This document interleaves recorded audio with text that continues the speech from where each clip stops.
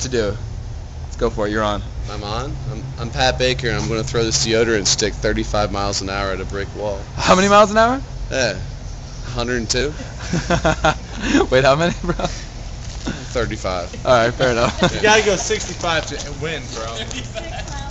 All right, so Wait, I you put it I on win. first? You have to put it on your. You want to put it I on first? mine, I mean, I put mine on. you already. put some on already?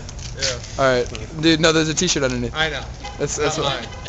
All right, I got you clocked. One sec. Whenever you're ready, just try not to hit that window. You can only practice so much for this shit. Ow! Oh.